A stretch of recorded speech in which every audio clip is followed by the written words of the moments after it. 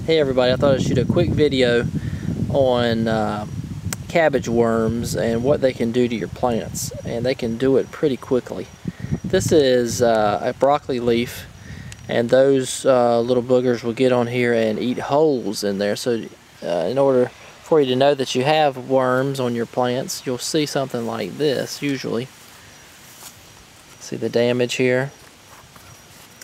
And if you don't do something about it, and do something quickly, they can really destroy your crop pretty fast. So I'm going to show you just where to look for those worms and uh, I'll give you some options of stuff that you could try. Um, so let's go look at one of these little. So this is the result of caterpillar damage. Initially what you'll see is a white moth or yellow moth flying around what they'll do is land on your leaves really fast and lay little eggs. The next thing you'll see is this, if you don't look really carefully for little caterpillars that look like that. So that thing right there will destroy that leaf in a matter of a day, maybe less than that. So you have to get rid of these somehow. And that's a pretty effective way of doing it if you have the time to come out every day and pick worms off of your plants. So where should we look for these? Well, the underside of the leaf. So you can see this one has some damage. Flip it over. And there he is. Sorry about the zoom. So he's gone. Now these things will be really small too. Um, see if I can find some. So you need to look at the underside of the leaf. I don't see any on this one.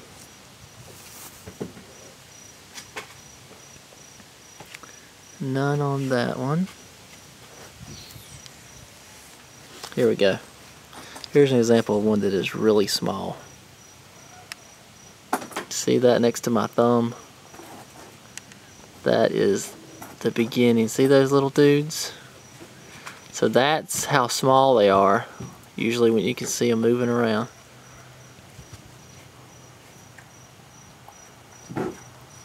They often build little webs.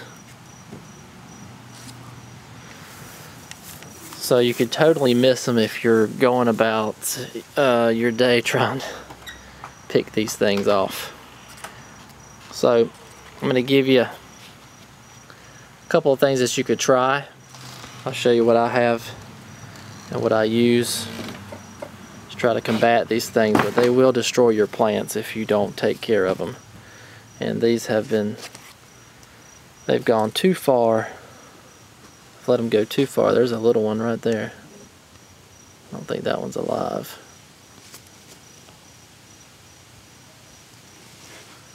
But anyway, let me show you some okay, stuff. I'm sure there's a lot of different things that you can use to try to prevent the worm damage. I'm just going to show you some stuff that I've used before and something I'm thinking about using. Um, this is fungicide. This is from Garden Safe, and I'm not promoting any particular brand name here, so um, but this is a fungicide, it's an insecticide, and it's also a miticide. And uh, if you look at the components here, it is uh, neem oil um, with some other stuff. This is uh, garden safe, so it's um, supposed to be, yeah, it's organic certified. So uh, I have not found this to be extremely effective for me. Um, they just keep coming back. You have to stay on top of it um, constantly. So you could give this a try if you don't if you just have a few plants. Um, it's pretty easy to mix up. Just put it in a little hand sprayer and spray it. I do use this on my squash plants, uh, and that seems to help with uh, some of the bugs, but um, you could give that a try. Uh, this is something that I think I'm going to use or try to use this time. And it's uh, BT. It's a worm caterpillar. It's from Garden Safe too. I haven't used it yet. Uh, I believe you mix it up just about the same way that you do the neem oil. So um, I might have to get me a little separate hand sprayer. So I think I'm going to try that. This is organic also. This is the stuff that where the caterpillars eat it and they die. So um, going to try to do that. Uh, what I have used in the past is this stuff which is not organic but extremely effective. Um, it prevents them from coming back. Uh, last fall, I only sprayed my veggies one time, and the whole season, and never had a problem again with uh, with worms. So this is something that's not organic. It's made by Bayer. Um, you hook it up to your garden hose, spray your stuff. It doesn't stink. It actually smells pretty good. Um, but it does work. So uh, it's rainproof in an hour. You just spray it on there and it takes care of the problem. So, uh, and it lasts, I mean, I've got a pretty decent sized garden and this has lasted me for over a year. Or at least a, a year now. So yeah. So I still have plenty to go.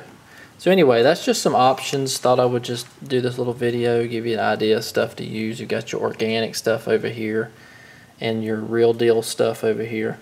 Uh, I do think that this is um, highly effective. I'm going to see about this. I would rather go more organic stuff, uh, especially later on when your plants get larger and you're getting closer to, uh, you know, harvesting stuff like uh, broccoli and cabbages. I think that, you know, go with organic stuff if you can um, just to be safe. But um, anyway, I hope this was helpful. Um, thanks for watching. Take care.